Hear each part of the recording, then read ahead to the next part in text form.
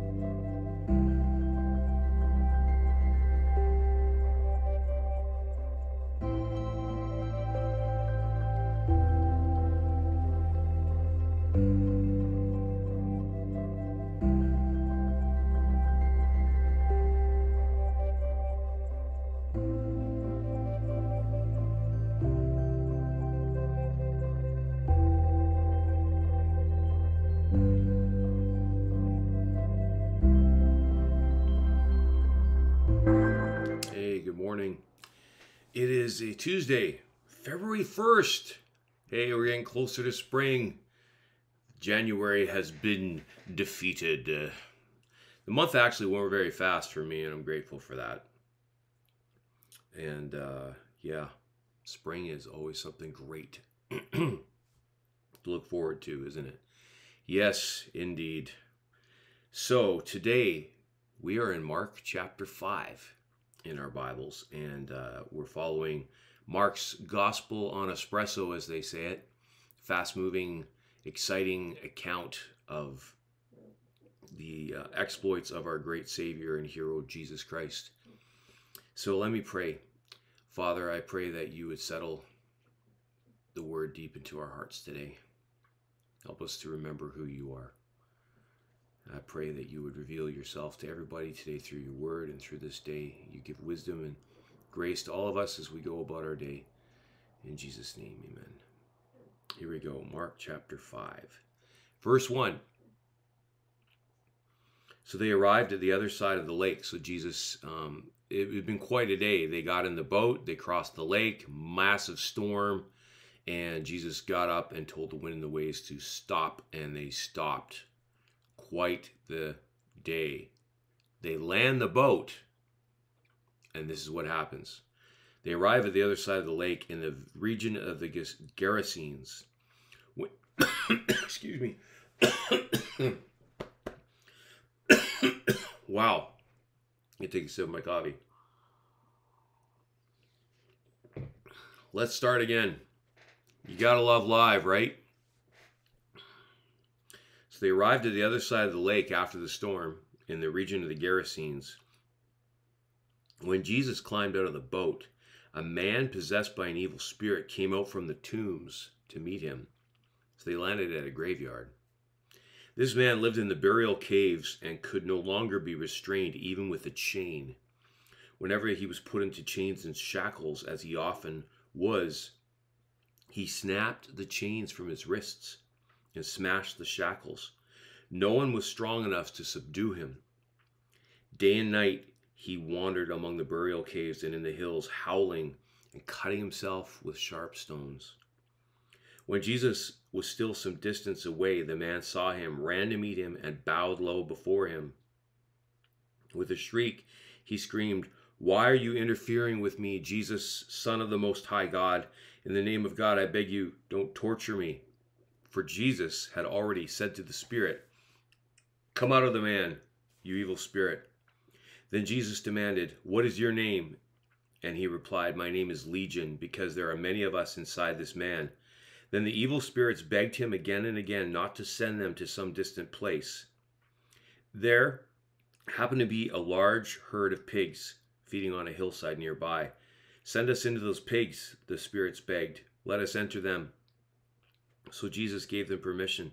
The evil spirits came out of the man and entered the pigs, and the entire herd of about 2,000 pigs plunged down into down the heaps, the steep hillside, into the lake, and they drowned in the water. The herdsmen fled to the nearby town and the surrounding countryside, spreading the news as they ran. People rushed out to see what had happened. A crowd soon gathered around Jesus and they saw the man who had been possessed by the legion of demons. He was sitting there, fully clothed and perfectly sane. and they were all afraid. Then they then those who had seen what happened told the others about the demon possessed man and the pigs, and the crowd began pleading with Jesus to go away and leave them alone. As Jesus was getting into the boat, the man who had been demon possessed begged to go with him. But Jesus said, No, go home to your family and tell them everything the Lord has done for you and see how merciful he has been. So the man started off to visit the ten towns of that region and began to proclaim the great things Jesus had done for him. And everyone was amazed at what was told them. This is God's word. In our culture, that's a pretty funky story. In our culture, it's because there's a denial of the supernatural and spiritual world. In Africa, nobody would have a problem with this. They know the spirit world's real in the day and age that Jesus lived in, nobody would have a problem believing this because they knew demons were real, darkness is real. The reality of another dimension with beings that we can't see isn't any more of a stretch than the invisible things that we can't see in the physical world, like molecules and atoms and oxygen and radiation. We know it's there. We have equipment that can detect that, but we haven't invented any equipment that can see into the spiritual world yet. But when they shine light from a laser against a wall, not all of the laser hits the wall. They've proven there's something there between the laser and the wall that's blocking part of the laser light. What is that? Well, there's another dimension that we just can't see into, and that's the spiritual world. And there's real forces of evil. Actually, if you ask me, my opinion is this you want verifiable proof evil's real? Just listen to a true crime podcast. My daughters are into this podcast. They love it called My Favorite Murder. And it's like I listened to one episode with them. I was like, okay, I'm done. But true crime shows you evil's real. If you don't believe in evil, then I don't think you're admitting to the reality of life. Where's that come from? John 10, Jesus talks about how the devil has come to steal, kill, and destroy people. This man's life had been tortured for years with demon possession. These demons were out to steal, kill, and destroy this man's life. And they had done that. He was all by himself, wandering around the tombs. Nobody could contain him. Um, demons uh, are fallen angels, so they have power beyond mortal man, and they they were possessing him so badly nobody could contain him in chains. Demons were busting the chains. And here we see Jesus continuing his war on evil, for he was good itself. We get the word good from the word God. Jesus was God. Jesus was good. He walked into the darkness and he rebuked the evil ones. Good is stronger than evil. It's not dualism where they're two equal forces and, you know, depending on the day, one of them will win. Good is boot, evil is ant. Boot versus ant. Jesus comes in and there's no comparison when Jesus shows up. Look what happened. The man saw Jesus and the demons had to bow and that's the first thing they did was bow before the King of Kings and the Lord of Lords. You can't stand up against Jesus Christ. He's not just some nice prophet in a white dress with the blue sash that are in so many walls of houses. He is God with skin on. When when he, they saw him, they ran to meet him and they bowed low before him with a shriek because they knew they were in trouble when they saw the Lord Jesus. And they called him the Son of the Most High God. They recognized no problem. Jesus is the second person of the Trinity. He is God with skin on, God the Son, come to earth in the flesh. And they say, Don't torture us. Some some translations say when they when we read, Don't send us to a different place. They knew they were in trouble. They were afraid Jesus was going to send them into the abyss, hell itself. And um, Luke, it says that in Luke's account of this. Now, Jesus values people even over animals, and he loves animals, but the demons he he sent them out of the man to free the man and uh, send them into the into the pigs and those pigs died steal, kill, and destroy. That's the purpose of evil. And they plunge down a steep hillside into the lake and they drown in the water. And this awful scene shows the herdsmen and everybody around them that Jesus was real and he was God and he had freed this man. This man who had been tortured his whole life, the next time they saw him, he was no longer naked and scarred. He was fully clothed and in his right mind. He was perfectly sane after all those years, and everybody was afraid. Well, just the way the disciples were afraid that Jesus stood up and a man said to the storm, Stop it, and it stopped it. When they saw a man say to these demons, Leave the man, and they did it, they saw Jesus was much more than just a man who's starting a new religion. And Jesus says, Okay, I'll leave. People are so afraid of him that instead of saying, What can we do to be free and never experienced this before? Because you're obviously a powerful prophet. They didn't, they wanted him out of there. So Jesus left. But the man who had been saved, and this is the difference between the crowd and the people that meet Jesus. The crowd says, Go away. We don't want you here, even though we've seen what you can do. The man who was rescued knows how lucky he is that he was rescued. He knew what he was before, and now he was free. So he was thankful. And he says, Lord, let me follow you. And Jesus said, No, you need to go spread the word that I'm here and tell your family what the Lord had done. Can you imagine that man going home? And they got they got their Tommy back. He was now a completely different person. He was that young, healthy boy that they knew when he was little before whatever happened to him happened and he, he lost his freedom. And now he had it back. So here we go. Jesus is sending a man who had been freed to proclaim the freedom that Jesus had given him. And uh, now this man was was free. Uh, David Guzik, good pastor, says this part of their fear of the people was found in the fact that their superstitions had been shattered. They didn't know what to make of it all. According to their superstitions, the demons should have had the upper hand over Jesus, but they didn't. They had a hard time accepting this, and they began to plead with him to depart from the region. Before they didn't seem to have, they didn't seem to mind having a weird demon possessed man around, yet they did mind having Jesus around. It's sad. They asked him to leave. He could have set how many more people free.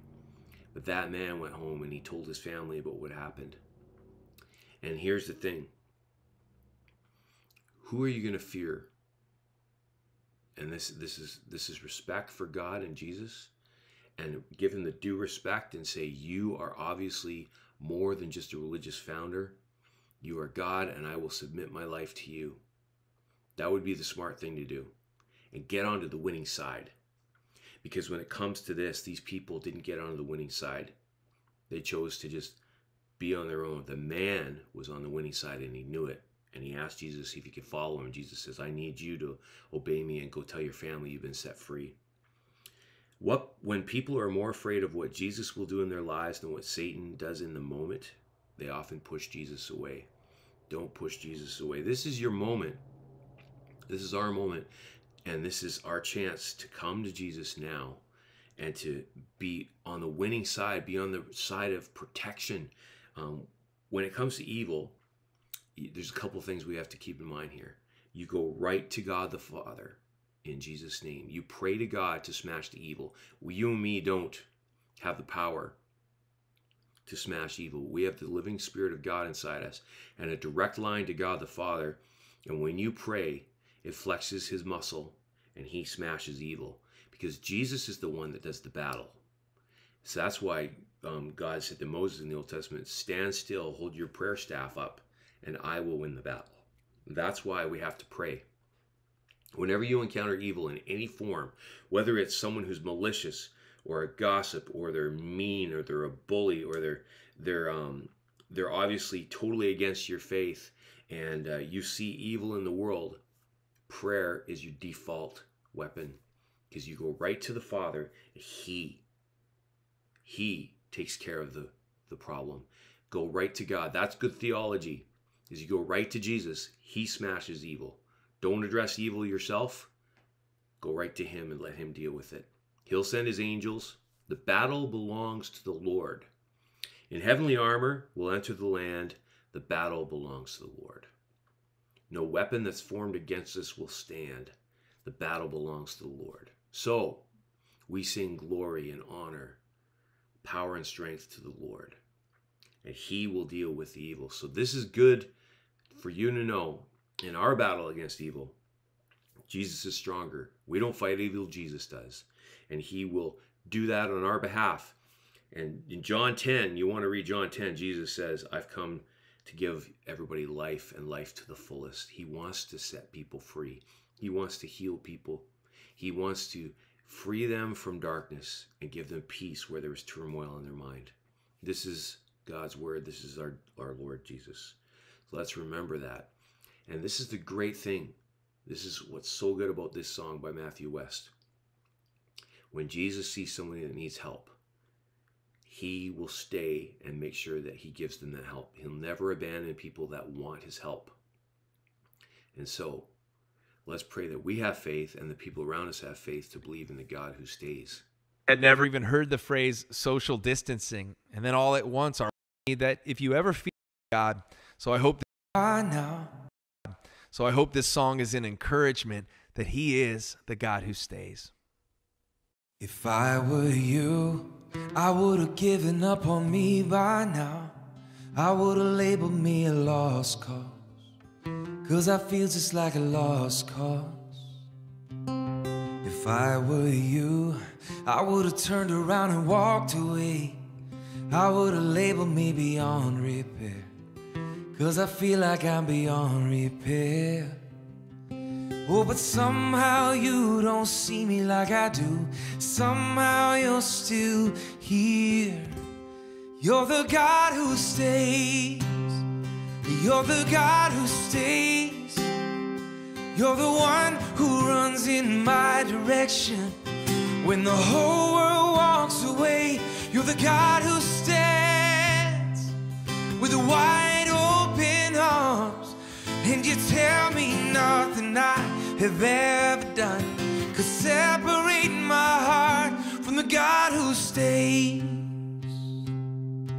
Oh, I used to hide every time I thought I let you down. I always thought I had to earn my way, but I'm learning you don't work that way. No. Cause somehow you don't see me like I do. Somehow you're still here. You're the God who stays. You're the God who stays. You're the one who runs in my direction.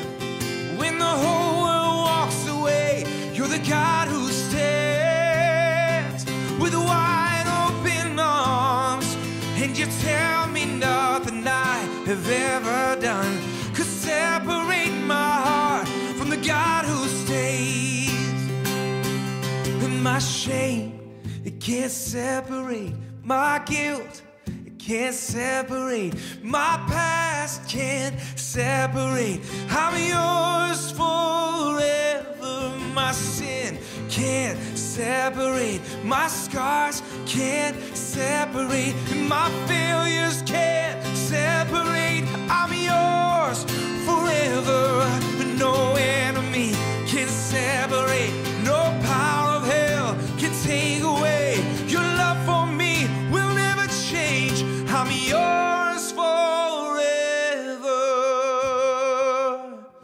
Cause you're the God who stays. You're the God who stays. You're the one who runs in my direction. When the whole world walks away, you're the God who stands with wide open arms. And you tell me nothing I have ever done could separate my heart from the God who stays. You are the God who stays. The God who stays when we need him most. He'll never abandon us. That is good news to my soul. Let's pray. Lord, give us strength for this day to cling to Jesus. Protect us from the evil one, deliver us from evil. For thine is the kingdom, the power, and the glory forever and ever. Amen. God bless you guys. Have a good day. See you tomorrow.